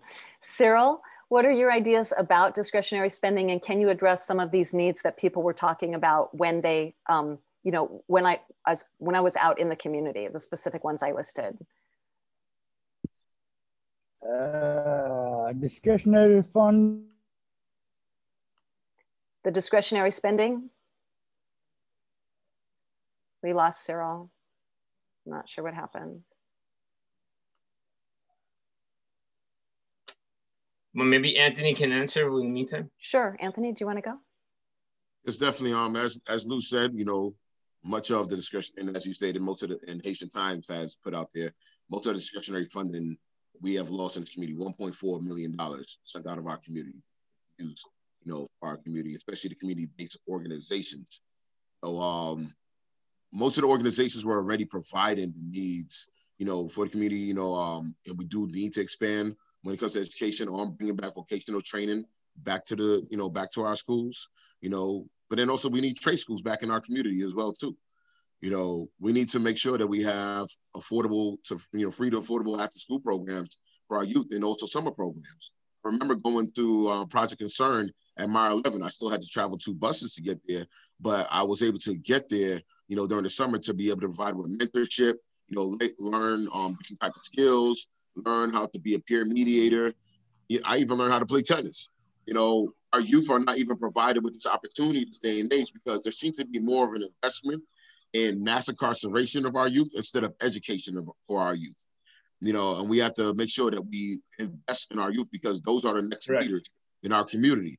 Especially when the council member who spent the 1.4 million dollars out of the district also voted for 11 billion dollars to be used to build four new jails in our city, and also cut the funding of a, cru- a crucial organization that caters to over a thousand youth in our community, you know, just because a former director of that organization ran against her in 2019. That's not the type of politics we need. We need politics that is community based and that is prioritizing the people, especially our youth. Thank you so much. Cyril, did we get you back? Let's see if he's here. I'm not sure what happened. His screen went black. So I think we're gonna just have to keep moving forward. and um, why don't we do this? Uh, we'll see if he uh, gets, I'm not seeing him anywhere in the, um, in the online. So we'll, uh, I'd like to take some questions from the audience um, as a little bit of a break also. So if there's people who have a specific question, um, would you like to put it into the chat? And um, I'll ask one more question while people do that. Uh, so uh, this will, I think this will tie into the question that we just had in terms of education. What are your specific plans in terms of, one thing that I heard is that the public education curriculum is just not competing with the private education curriculum. And what are your specific plans to improve that? And I will shout out those programs again. I heard over and over again, financial literacy, um, entrepreneurship, and civics. Uh, Lou, do you wanna go? Sure. Uh, first, I believe that our public schools are failing. We have a 60% fail rate in our public schools. If I had it, I having anyone who has the resources and chooses not to send uh, their child to public school would be doing their child an incredible service. Not most people in our community do not have that possibility, and so I believe that charters are a much better, you know, alternative to uh, to our public school dilemma. And I think that we need to have charter administrations within our public schools. We can see what happened to uh, Romy uh, Vilsaint uh, at a public school. I think this is disgraceful. I would not send my child to a public school here, uh, you know, if I could avoid it. And so I know many other parents feel the same. Uh, the New York City public school uh, system is the most segregated school system in the country. And so we need to find ways to retool the public school system and starve the beast. I believe very uh, adamantly in in divesting from you know public schools that are failing uh, in our community and and substituting them with charter schools. And I know to the, that that is you know her, heresy you know uh, to many. But if you're a parent and you're sending and that is your only choice, you know the the uh, the the the reality is that schools are bankrupting our community. And so, you know, if you have kids graduating without skills, those, you know, they are not benefiting their homes. They are not investing in their homes. And eh, that is why you see uh, such great, uh, you know, uh, uh, economic uh, strain in our community because you have people that are not working that don't have skills. And you know we're we're losing homes at an alarming rate because people cannot afford the homes that they live in. And so part of solving the, you know, the generationally part of solving the the the uh, foreclosure crisis in our community, it has a it has a direct link to you know the quality of education that our students are receiving, and you know the generational uh, the generational uh, uh, uh, damage that has been done is evident on our streets. You see it every day with you know violence. You see it every day with you know with bullying. You see it every day with you know with uh, unemployment, with uh, mass incarceration. And education is the only way to solve that problem. Okay, thank you so much. So Lou's in favor of charter schools. And Anthony, do you agree or disagree with that? I truly feel that many that the charter school system has actually been, you know, taking away the bricks of our from our public schools. You know, that's been a huge problem. You know, they it, it seemed like it's the best resort because they leave you with the options that that's their only resort instead of actually putting the services and resources that are needed within our public schools. I'm a public school child, you know, child, you know, all the way, you know, all through high school. I went to PS 135. I went to Winthrop Junior High School. I graduated from Midwood High School, you know, and, and the thing is that I didn't see any um, lack of education or opportunities to me. But what it is, as the years pass, there has been more funding taken out of the education educational system. So even the state has just finally paid out the funding that has owed our New York City schools, which is over 1.4 billion dollars. But you know, over the past seven years, they've owed this money. Lost in a lawsuit. You know, but it's a shame that we had to fight for it. But you know, I do agree with Lou on this situation where funding is not just the key. We need the resources and services. We need to bring a lot of these programs that are outside the community, or even those who have not been created yet, create them in our community and bring them into our schools to teach financial literacy, to teach coding, you know, to, you know, bring like organizations like Girl Code, where my daughter learned to code over the, you know, two summers ago, you know, just by uh, um, attending four to five classes. Bring that into our schools. You know, we have to have the resources and the services for it. We can't just say, you know, here you go, good luck. Because then we see there's disparities when it comes to our schools compared to the schools in more affluent communities. You know, there's, there's disparities when it comes to the funding and funding that is also raised. You know, we need to make sure that we have equity across the board. Our city council has failed at that time and time again. They've given us nothing but lip service. They truly have failed our youth. You know, it's not the community that has done that. It's the powers that be in legislation that have failed to prioritize our youth, that, priority, that failed to prioritize the budget. Because even this, this last budget, they cut funding to music and arts. Like, you know, they, they already cut funding to so much in the schools already you know, what it's like, like I said, they seem to be focused more on investing in mass incarceration than they are in education. You okay. know, thank you so much. I'm going to just wrap you up. you had a lot of really interesting ideas there. So a different opinion from Lou, support for the public schools and bringing in outside innovators into the schools. Interesting. Cyril, and what are your plans for education? And I'm sorry, I forgot to give a time limit on this, but um, the other gentleman took around two minutes. So why don't you please take that? and you'll have to unmute yourself. You're muted right now, but welcome back, by the way.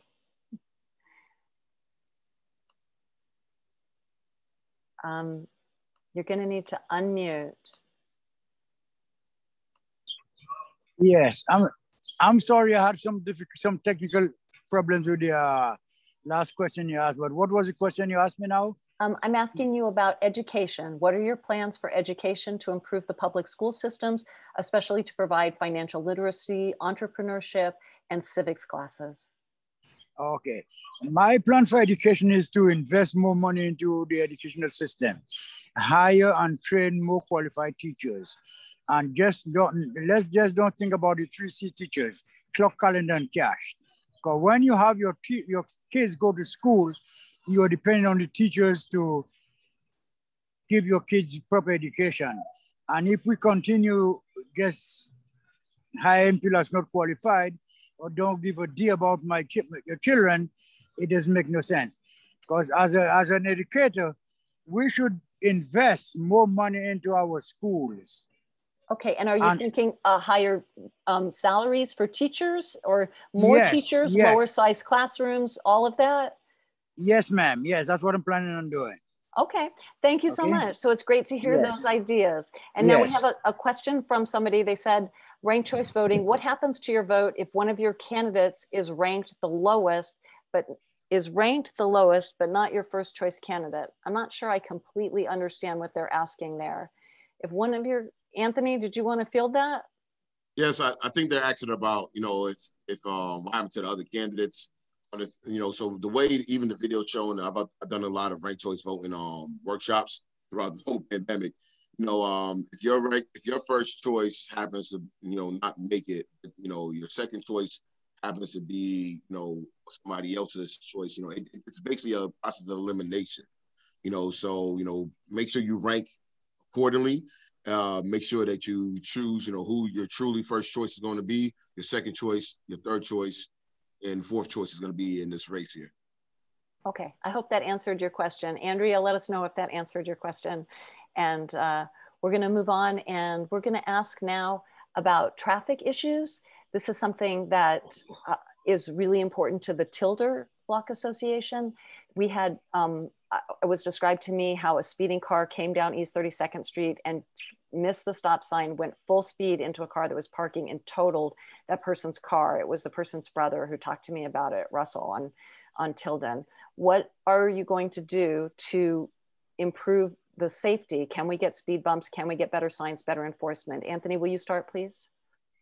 Definitely. I had and I'm sorry, I didn't give the time limit, but we have we need to be aware of our time. Let's do just a minute on this, please. Okay. Okay. Thank yes, you. Definitely. Um, I've actually, I've had a, a couple of conversations with homeowners, you know, on on the block on East 32nd, and they felt that you know they were ignored. You know, we do need speed bumps that stretch. We also need a traffic light as well. You know, uh, one of the homeowners told me, "Why does it seem like everybody looks at 31st but not 32nd?" You know, they felt the, you know they felt abandoned. You know, so definitely, you know, we need to put speed bumps there. We need to put more traffic enforcement, and we need to make sure that we are able to put um, street lights there as well too. Thank you so much, Lou. I believe in urban design. And so, you know, one of the things that I think we do need to do is change the texture of the streets that we're concerned about, particularly on the cross streets that are wide, like Beverly, Tilder, Snyder, uh, you know, certainly Clarendon, which are wide streets. And we need to make sure that uh, cars drive slower. Also, uh, generally, I think we need to move away from car culture. And so, you know, I think I do not own a car. I my my primary means of transportation is biking, and so bike lanes are also a great way of slowing traffic down. Thank you, and Cyril. Yes, definitely. I will I will work with uh, block association, transit associations to get more speed bumps within the district. Go through most of the district, there are no speed bumps. We need speed bumps, and the block association or transit association has a voice if they come together and lobby the city, the, the, the politician to push the process faster than if they go in by themselves. So we need speed bumps and traffic lights. Yes, we do. Thank you so much. And Lou, I'm just going to pop back to you. I just, I, have to say I'm a little bit confused. So you were saying more about working with design, but what does that mean and how does that address the speed issue? So the speed issue is really, you know, uh, is really due to the fact that, you know, we have wide streets that bisect our district. And so because we have, you know, asphalt, we don't have something like speed bumps or that, you know, effectively creates a texture when you drive, you know, people are, and, and few traffic lights in between, people are compelled to speed. And so, you know, what we need to do is what we've done in other countries is they change the texture of the road. So one example is, for example, if you've ever been to Soho, they have cobblestone streets and the cobblestone streets force cars to go slower you know other design elements like bike lanes or narrowing the amount of space that cars have in order you know in order to to maneuver is a good way to slow traffic down and so i think the principles of you know of street design need to be fully applied you know in our district and and and, and striping needs to be you know used more effectively to create the effect of narrower lanes so that cars will slow down but I'm just going to push back on you a little bit because Sure. literally here on East 32nd Street, I don't see that they're going to go and put cobblestones on our street. No, I mean, it was a, it, it, So- it was an example, but Right. you know, certainly certainly speed bumps would work. You know, um, other there are other there are other surface texturing you know devices that that would work. Um, traffic lights and stop signs, of course. But I mean, really, this is an this is a urban design, street design problem. But you and are open it- to pushing for speed bumps for the communities that Oh, sure, but. I'm also Okay. open to I'm also open to other alternatives. Okay, super. Thank you so much. And let's, as long as we're on subjects that are uh, close to Tilder's heart, let's talk about open space, the gardens. Uh, this is a community that's known for its gardening. We've received awards for our tree beds, and we received the first sustainability award for uh, from the uh, Brooklyn Botanical Gardens.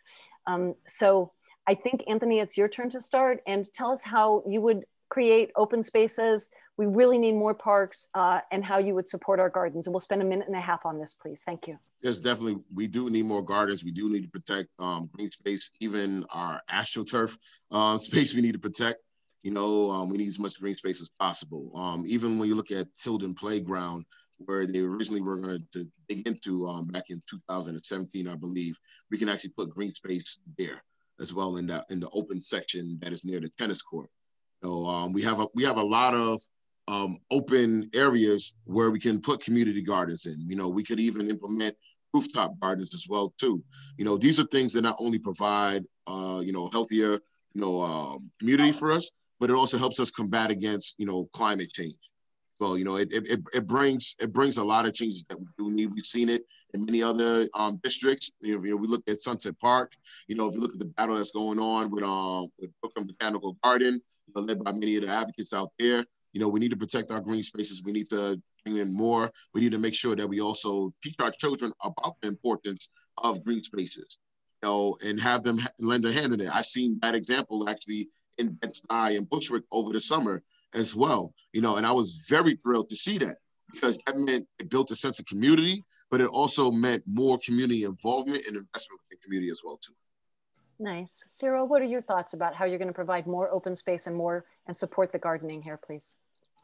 Well, I am I am proud that you asked that question because I'm the director of a Motor Community Garden for over 13 years. I also was the director of Linden Bush Community Garden, Secret Garden, and I'm working with Green Thumb Parks, Parks City Parks Foundation. And the way that we're going to support it is to get community members involved, those that really care about the community. During the COVID time, we had the uh, after school program in here where myself, Amy, and other people came in and helped kids learn, teach them, open up the garden for arts and culture, build more beds. When I took over Motor Garden, there was eight beds in there, and now we have 38, and the demand is growing. And that's why I see I spend more time in the garden at times because you must keep upkeep the garden. And if the garden is not upkept, you go to Green Thumb, go to City Parks, go to uh, Green Guerillas and ask for support because I got just got a fund, building capacity fund in, for $2,500 from for, for my garden. And all that money is going to bring kids in, teach them ecology, teach them how to plant and grow. That's why I'm going to support it. And I will make sure that I put some of my discretionary funding into bring, keeping our garden clean because that's the best thing you could eat. Wonderful. That sounds great.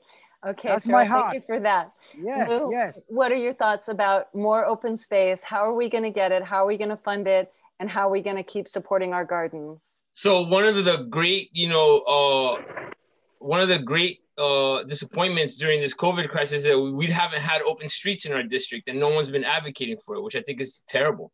Uh, you know, that's one way to create more public space. And as part of, you know, as a as a council member, one thing that I plan to do is create, you know, Saturday and Sunday open streets all year round. And Uh, what I does that also- mean exactly, open streets? open streets is you know when you close off certain streets and you you allow them you know to be used only by the public and you close them to vehicular traffic for a spe- uh, specified blocks of time uh, during uh, the weekend and so that would encourage kids and parents to come out into the streets you know and use the streets as as playgrounds um, because we don't have a lot of ready access to you know uh, large parks in our community. I have to walk a considerable distance you know to get to you know a park. So you know it's it's really effective if we you know if we use the streets. Uh, another thing is that as i said earlier one of the things that is near and dear to tilder block association are the tree beds. And you you know your efforts have not been matched uh, by the commitment of the council member to really scale you know those kinds of programs. So the discretionary funding needs to be used to create more awareness about you know what neighbors can do for neighbors. I i'm a big composter. I believe in you know in educating kids you know about about the benefits of you know of planting. And so you know that's something that i plan on supporting you know as, as well as community gardens. I think you know there's no there's no uh there's no uh um i'm sorry uh there's no uh, um uh, yeah there's no reason not to do it Okay, but let me, I, I'm just, I'm actually a little bit surprised to hear you as an architect not talk more about how to use design in this element to reclaim mm-hmm. abandoned buildings or parking lots and turn those into green, green spaces. space. Because it's a little bit different. I understand about opening streets and having kids there without cars. It's not the same as interacting with a tree or with like learning, teaching him, how, teaching kids how to garden. What about using your design skills to actually innovate and create more open spaces? Well, I mean, I think that that's a great question. Uh, again, to accomplish that, you know, you need to have negotiating skills where you can bargain with private landowners, right? So these buildings are owned by somebody, and we need to be able to work with those people so that we can have, you know, more access to those spaces and use them in an efficient and creative way. You know, so I again, you know, yes, there are plenty of design discussions. I don't have a lot of time to discuss them, but you know, there are plenty of options to create you know more effective green spaces in our community there are more ways to you know use the public space that we have more effectively you know uh, in a design capacity so that we have more access to open space for our children and our families i mean of course there's nothing controversial about that And would you fight for it?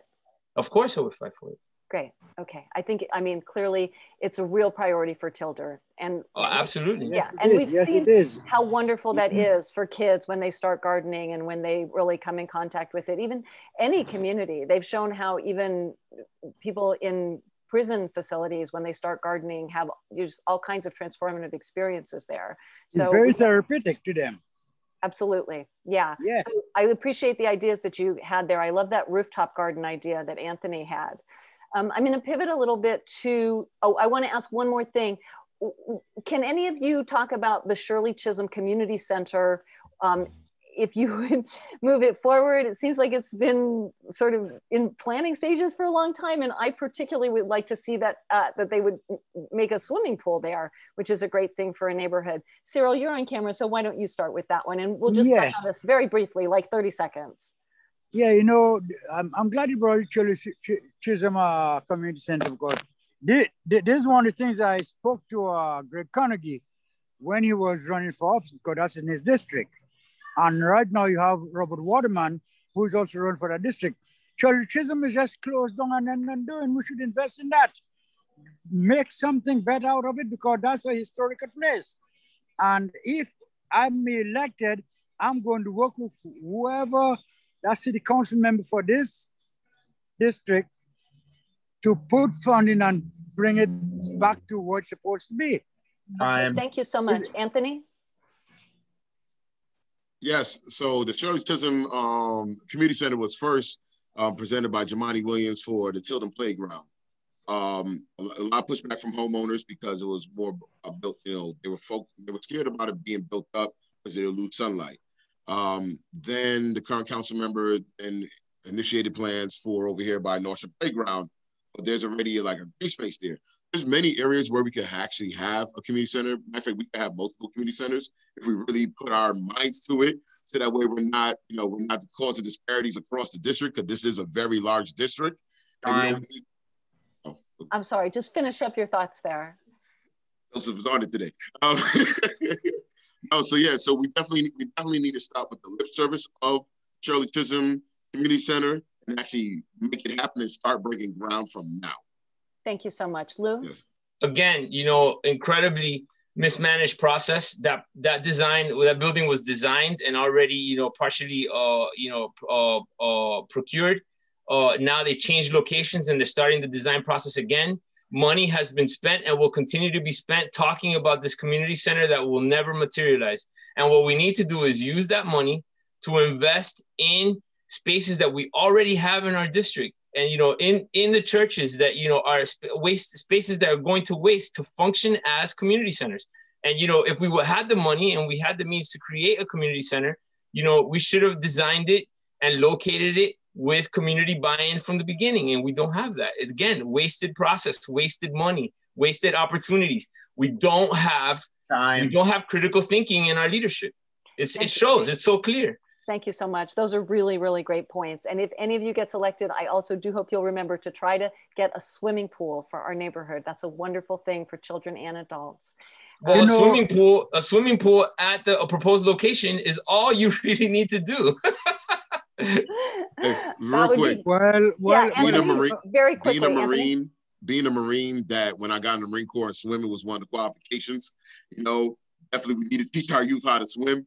You know, I had, I had to do my swim qual twice just to be able to get, I got to a high level, but we definitely need that. We need more. We need Great. more for our youth. Great. Cyril? Swimming pool is number one on my priority for, for District 45. So I believe in swimming and I like to train people how to swim. Life saving. And you start at a swimming pool. So definitely you are going to get a swimming pool. Whether I'm elected or not, I'm going to work with whoever is there to try and get a swimming pool in there. Okay, I'm, I'm going to be in touch with you about that. I'm going to follow yes. I am. Yeah, okay, yes. that's great. Yes, I love to swim, definitely. and I I miss it since I've been in this neighborhood. Um, okay. Let's, and I think that's actually a good pivot point to talk about climate change because obviously, with climate change coming, seas rising, it is something a survival skill, uh, as Anthony said. So, um, I'm, I think Cyril started last time. I am trying to be fair in terms of the order. So I think Anthony, you're up to bat to start. Just, uh, we don't have, we're running out of time here. So just like a minute on how are you going to help the city think forward and prepare for climate change? We have to think about it. So definitely, um, I know um, many of our current council members like Antonio Reynoso has been the champion when it's come to many, um, when it comes to the climate change issue. So I definitely want to continue since he's termed out. I want to continue with many of his pieces of legislation from the rooftop gardens to expanding green spaces to save our current green spaces to make sure that we educate the community more about climate change, to make sure that we provide the community with more protections. Um, and, and not even just our community, but the city in general, you know, with, with, with all that's going on, especially when it comes to the waterfront. You know, and that doesn't mean give these developers all access to this waterfront. No, that means we need to actually protect the waterfront so that way tenants who are already there can actually be protected and not displaced. Thank you so much. That was perfect in timing. Okay. And um, Lou? Yeah, so one of the things that I want to propose as a council member is that I want New York City to be a leader in, you know, climate action. Uh, one of the things that I'd like to propose is that all products that come to you know, our New York City supermarkets that currently use plastic be replaced with plastic or uh, with paper or paper wax products. So, you know, I want to eliminate uh, plastics from the New York City, you know, retail diet altogether, right? And so that's going to be a monumental step, something that I think I can work with other council members to achieve, uh, and will add to the already aggressive, uh, you know, climate stance that New York City has taken on buildings. We have Local Law 97, which is in effect in 2024, you starting to see letter grades in buildings. If you have a D or a C letter grade, you will be taxed for carbon emissions, which is you know innovative and on its of itself and is moving the needle on climate change significantly in New York City. Thank you so much. And Cyril, how are you going to lead on climate change? On climate change, I will try my best to lead by trying to to uh, encourage or get funding for more people to go solo. That's number one. For more people to what? To go solo, eh, solar panels instead of this. Oh, solar, yes. Yes, okay, solar. So funding for solar panels, great. Yes, because because I'm having one in my garden right now. I'm building. That will stop the climate change. Now, we, we look at the, the different uh, weather, the way it changes it, we need to hold the federal government, work with them to get more funding to educate people on how to divert from climate change. Great. So take resources, also work with the federal government.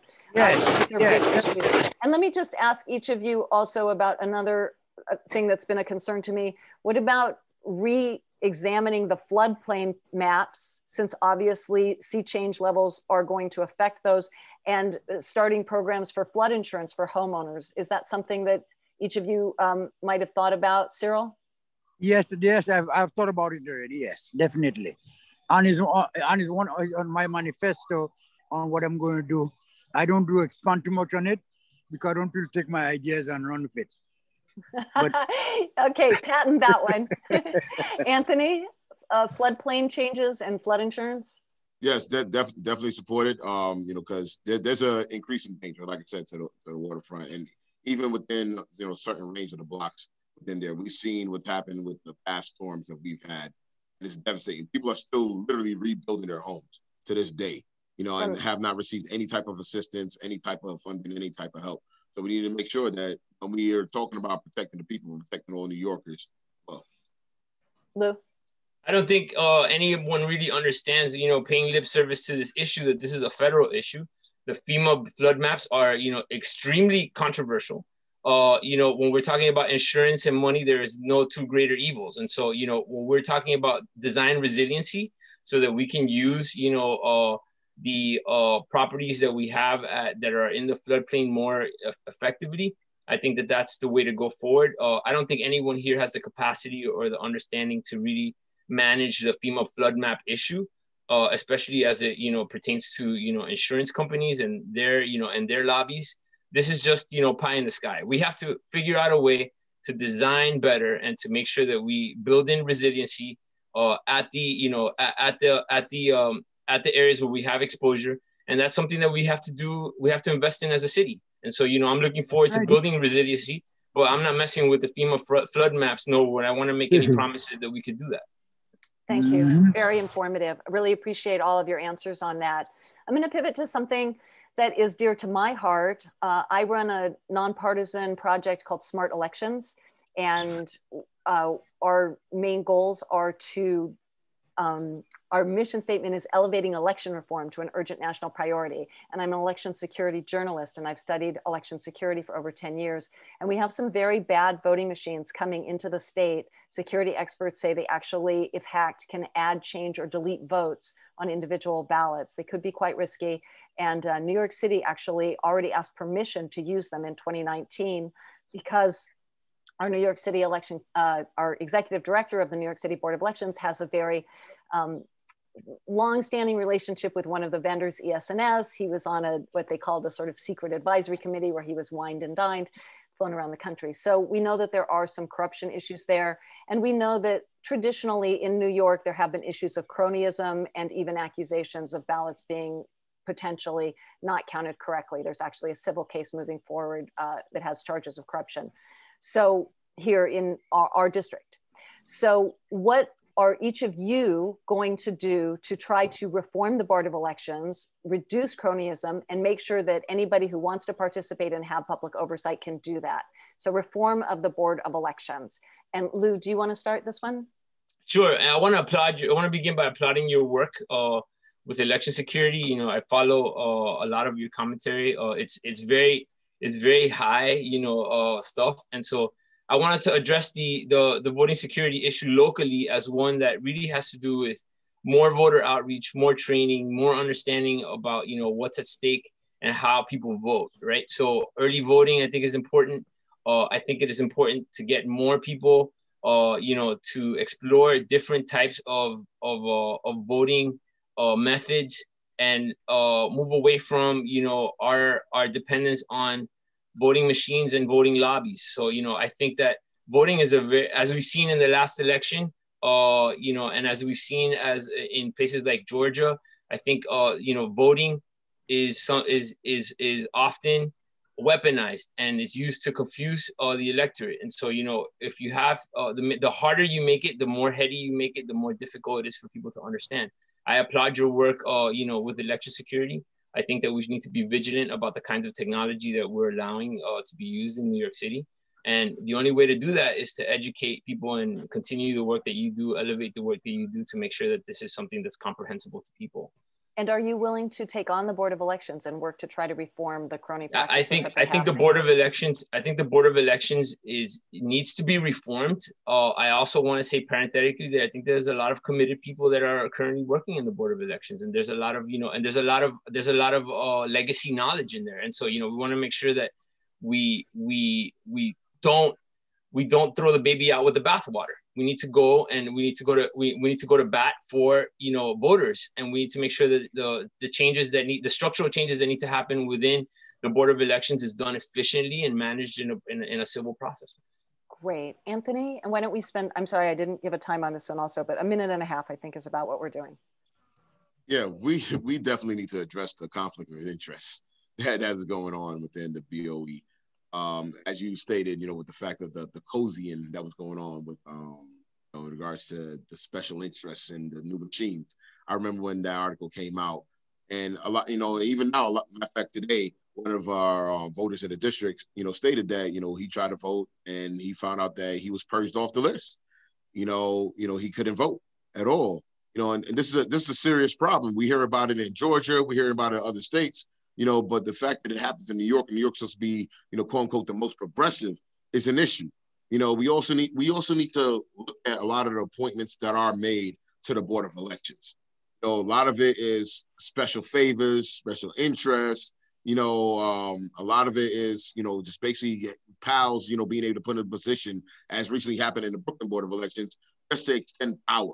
You know, we need to cut away from that. We need to make sure that if we're really going to do this, this is going to be, you know, we're going to make sure the board board of election needs to be non, you know, need to have be a nonpartisan type of body.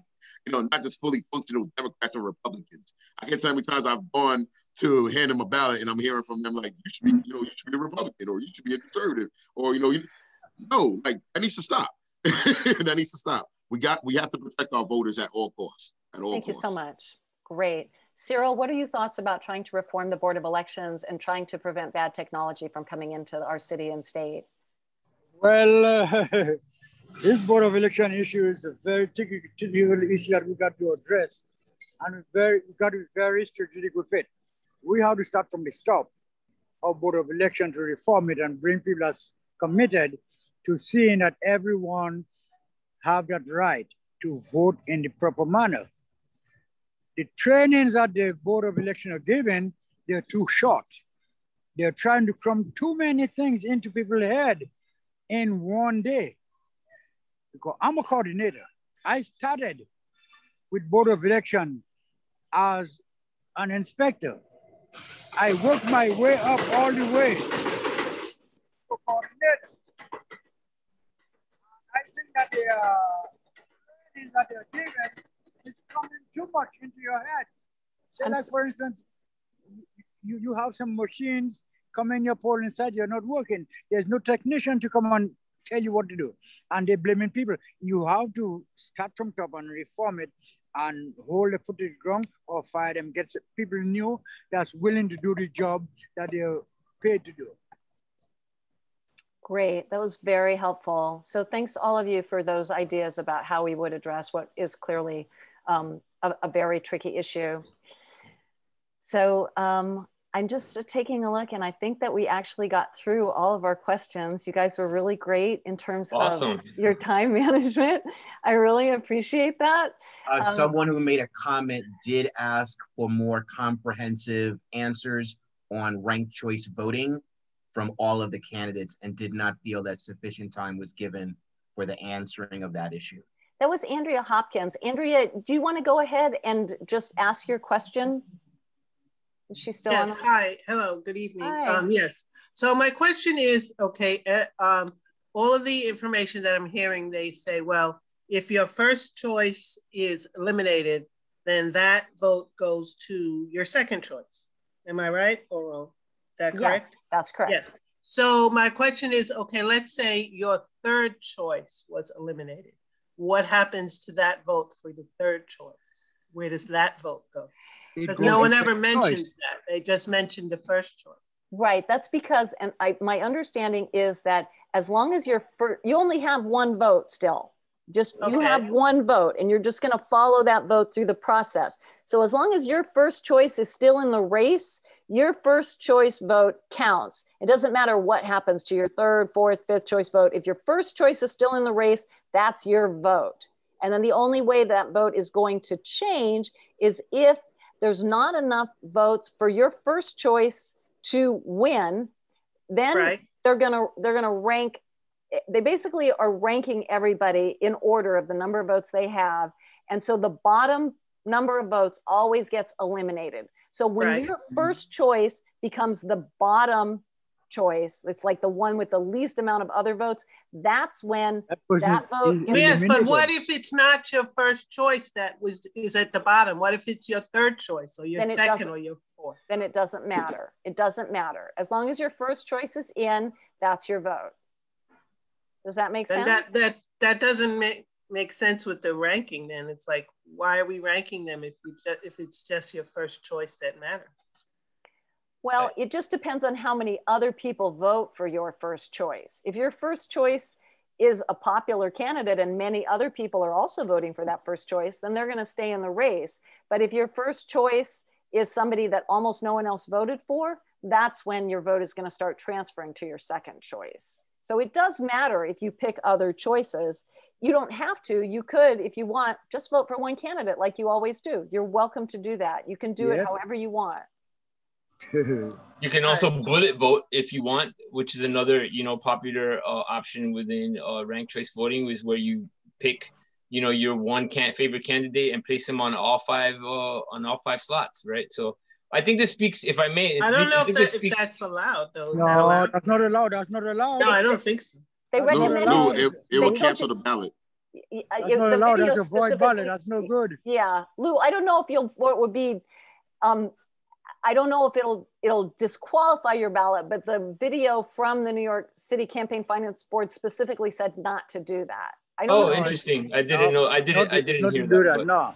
Well, I think I think this speaks, if I may, this speaks to a larger issue, which I think there's just a, a lot of confusion about ranked choice voting, and the amount of uh, people that you have to choose from this election cycle. You know, you have to choose for borough president, council members, mayors, uh, and if you don't, if you're not familiar with all of the candidates that are that are on these ballots, you know, it's a very confusing process which leads me to the idea that you know we really needed more time and more investment in community training and outreach in order to make this an effective process. Uh, and one last thing you know you only give yourself uh, a choice if you are supporting the candidates that you want to choose from one of the th- biggest critiques i have about ranked choice voting in this race is that you know there are only really you know two or three candidates, you know, to choose from, um, I, I I take myself out of that equation for for reasons that hopefully Lulu will explain later. But you know, uh, but you what you have to what you have to understand is that if if your if your candidates if, if the candidates that you know you want to rank do not appear on the ballot if they don't make the cut then you really have no one to choose from except the one candidate that makes the primary right So let me just, I think, address what Lou's talking about, which is that he is not actually going to be on the primary ballot. So Lou Ballot, has right. chosen to run for election in November, and he's going to be on the November ballot as an independent candidate. And the name of your party again, Lou? Fight for flatbush Fight for Flatbush. Okay, so on this particular ballot in this primary for the city council for the 45th city Will council three district, people. right? There's going to be three people. The Mhm. two of the people you saw this evening, Anthony Beckford, Cyril Joseph, and also our current city council member, Farah Louis. So you'll be able to, you can either just vote for one of them if you want, or you could vote for one and a second choice, or you could rank all three, one, two, three, however you choose to vote. And I, I and then in November, you will have a choice between whoever wins that race and the other um, people on the ballot. On the ballot. On the ballot. I think there'll probably be a Republican on the ballot also generally I, I, don't know if they if, they, if they're running somebody for november so it's going to be a process there's going to be a primary with three candidates and then there's going to be a general that'll have um, whoever wins that and lou and probably another ca uh, candidate or two it is a little confusing and i think one of the reasons why they didn't put the information out earlier is because they had elections um, even local elections, like in Queens, the Queens Special District race, as late as I think January or February. Um, and they didn't want to confuse people. Those races were not going to be with ranked choice voting. And so they waited until after those races were complete to roll out the information about ranked choice voting. It is probably going to confuse people, but that's how new things are. They confuse people at first and then we get used to them. The city did vote, as the video said, 74% in favor of moving to ranked choice voting. So educate your friends, educate your family, let them know. That, that video is available on the New York City Campaign Finance Board. And I think I put it in the chat, um, the link, and, and I'll put it in there again. So we're just gonna wrap up now. We just have four more minutes. And I wanna give each of the candidates an opportunity, just one minute, to just say really I want to talk about personal characteristics. It isn't something that we've really talked about very much. But if you have like one personality trait that you think is the reason why people really should choose you in this race to be our city council representative, what would that trait be, your mm-hmm. character trait? And Cyril, why don't you go first? My character trait is plain and simple. I'm a caring person. I believe in excellency from the bottom to the top. If you come to me, if you elect me as a city council member, I am not going to leave you halfway. I'm going to take the problem from the starting to the top of the to the pyramid. I want everyone that look in my face or look in my eyes and say they're satisfied with what Mr. Joseph did because that's what my father instilled in me. Honesty, is best policy. All right, thank That's you very much. Honesty is the best policy. Honesty is the best policy, Cyril yes. Joseph. Yes. Okay, yes. Anthony, would you go next, please? It's definitely. Um, I have to look at my integrity. You know, no matter what, from from when it comes to my service to the community, long-standing service to the community, or just being, you know, being a single father, you know, or just being a friend or a fellow community member. You know, my integrity, I, you know, I learned you know, about integrity, and it's been instilled with me from my mother, you know, who raised me and also raised my sister. And then the Marine Corps hasn't reinforced that. Coming into my community, I've actually been, you know, that's one of the main things I teach to a lot of our youth and also our fellow community members. That takes you a long way because that makes you very dedicated. It keeps you consistent. It also makes you unbought and unbossed.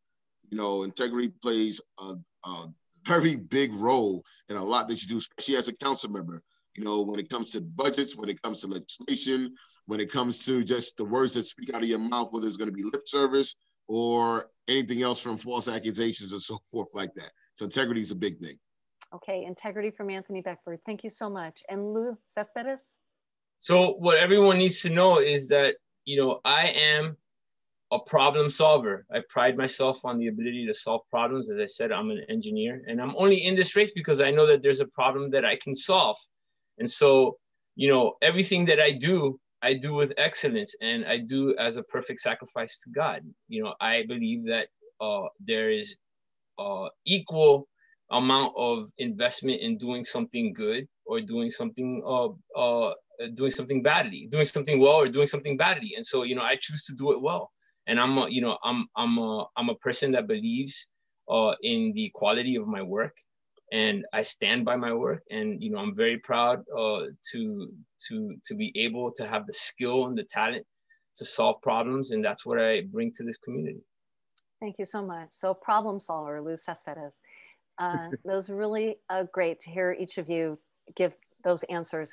And I, I, feel like I've learned a lot, and we had a really great dialogue about um, how we can move forward to make our community a more wonderful place for us to live, and, you know, improve the quality of life here and come together and, and really, I, I think, create the type of, of world that we all want to Yes, live in. yes, so definitely, I really appreciate everyone who participated, the candidates, the people who uh, watched and asked questions. Um, this has been uh, the candidate meetup of the 45th City Council District.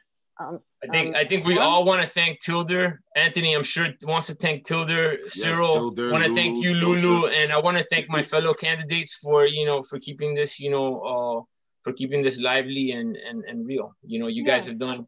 You all, my fellow candidates, and Tilder and you, Lulu, have done an extraordinary job, and we're indebted to you. Thank you so much. That's right. Yeah, yes, Definitely, definitely, definitely. Thank you From- so much. Matter of fact, from the last election to this election. Tilder Block Association is a wonderful organization and it's been here for years. It was started by Mrs. Hyacinth Johnson, who is an elder who lives on the block, an inspiration to me and many others. Um, it's a wonderful organization that prides itself in um, coming together and helping each other, helping the community, and especially gardening and beautifying the neighborhood with flowers and trees. Uh, so I hope that you all will participate in the Tilder Block Association. And uh, this video will be available on YouTube and also hopefully on our Tilder um, Block Association Facebook page. Um, as I said, we will be interviewing the current council member, Farah Louis, on Tuesday, and we will also have that video available. We will be asking her the same questions. And we hope that you will share this video with your followers, your friends, anybody who has questions about the race. And most importantly, we hope that everybody will participate and will vote in the election. Election day is June 22nd, uh, next month. Okay. I, I, I, I want to take this opportunity to thank Tilder Block Association for giving us the opportunity to express our views to the public to let them know where we stand. And I would, ho- I'm hoping that Tilder Block Association would encourage uh, the Honorable Farah Louis on Tuesday to invite the two of us, the two Democratic candidates that's running to participate in that questionnaire. And don't forget, hold me accountable for that swimming pool. Okay. Um, thank, thank you very much for those final words. You're more than welcome. Okay. And um, remember to vote and thank you again for attending our candidate forum. Good night. night. Okay, have a good night Night, then. everybody. Good Love night, District everyone, and have a blessed night.